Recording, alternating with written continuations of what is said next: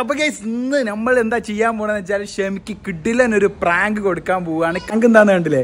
ഈ സംഭവം നമ്മൾ ഇന്ന് ഒരു ഫുഡിൽ കയറ്റി കൊടുത്തിട്ട് നമ്മൾ സെറ്റ് ആക്കാൻ പോവാണ്.